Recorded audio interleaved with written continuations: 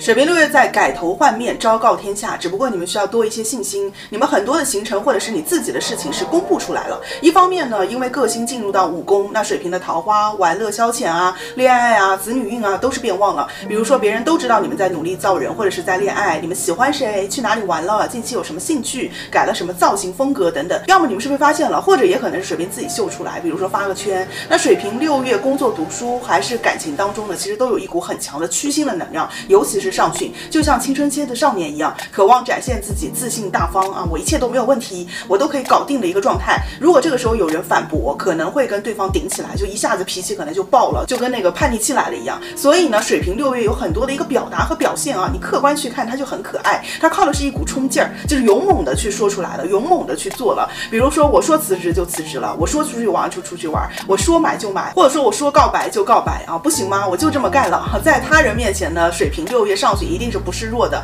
但是呢，你们心里可能不见得真的那么有底气啊，所以呢，可能你又瞬间担心后续的一个发展和结果，尤其是六月九日中下旬这二十天的时间，水瓶的内在情绪起伏还是比较大的，所以要注意调节。水瓶六月的整个节奏是可能上旬前十天有什么工作、读书或者是人事关系，他开了个头，你们投入时间也做了很多的接触、了解啊、对比、选择，终于可能也定下来了，费用也付了，有了新的计划、新的方案、新的变动，前期的推进都会是比较迅猛、快速的。而中下旬呢，你们就会真的实际的去做这件事情，开始要担一些责任，然后这个时候你们可能一些担心也会出来，节奏就变缓了，因为你觉得就没有那么好玩了。比如说你因为新开始了一件事，到了下旬的水平，你就得这两件事同时兼顾，哎，一下子事情好像就变多了，任务变重了，也不能像上旬那么快乐、那么放纵、那么轻松，或者你的身体被搞得很累啊，就想说我干嘛这么自己虐自己呢？我为什么不早点那样做呢？啊，所以中下旬水平可能就会回到需要去处理一些很具体的、很细节的事物当中去，要收心、认真、严肃的去面对一些课题。你就觉得说这个人啊，这个事情跟自己原来想的好像不一样，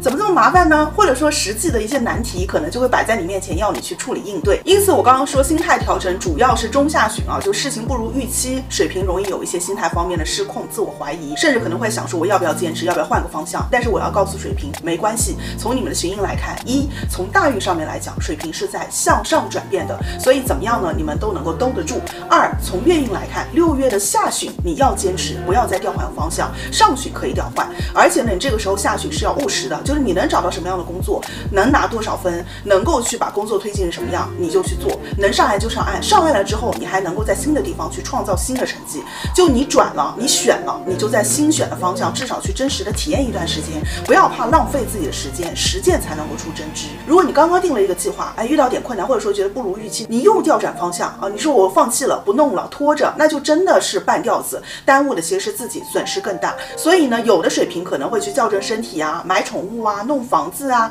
或者找工作啊，就是好坏你先往下弄，先救急再救穷。所谓的问题都是可以一步一步被处理修整的，你不可能一开始所有的事情都设定好。其实六月中下旬水平的运不差，你们心态偏失是因为太完美主义，一有点问题就觉得问题很大，或者是太急于求成，盯着那个结果，呃，觉得自己已经努力了呀，为什么没有好的结果呢？因为你盯的是马拉松的终点，但是你现在正在一个新的起点，那它就像花开一样，是需要时间栽种，慢慢累积，慢慢去学，慢慢成长的。你快到终点的时候再去开向那个终点啊，你过程当中要不断的去走，以及不断的给自己加油打劲。所以六月中下旬水平要及时的犒劳自己，肯定自己阶段性的成绩，肯定自己的价值和努力。你不需要去选择一条根据别人的经验，根据别人的时间线来规定看似所谓的这个最好的一个轨道，才能够看见你的旷野。水平呢，你可以在自己选择的一个方向上，每天持续的去燃烧自己的热情，你就能够去创出属于你自己特色的轨道高铁。这个跟起步的快慢、早晚、起点的好坏、高低都是无关的。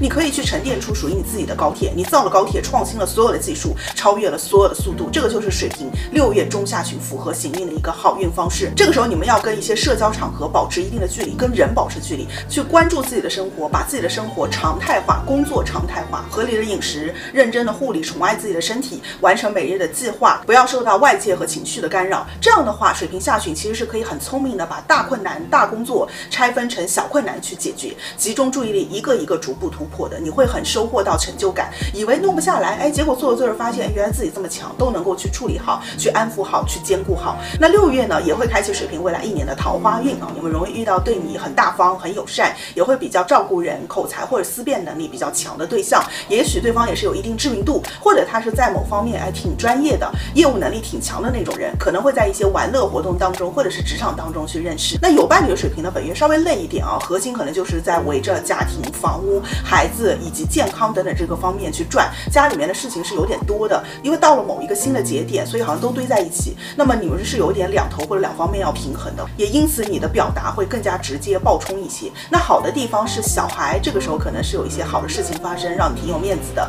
会去跟别人去讲，或者说小孩能够安慰暖心到水平。那要祝水瓶座六月也自信不移，迎难而上，定点定向之后，在同一条曲线上向上移动，幸运已到，大家加油好运啦！我是爱达范老师，用星座和心理学一起更好的指导自身生活，拜拜。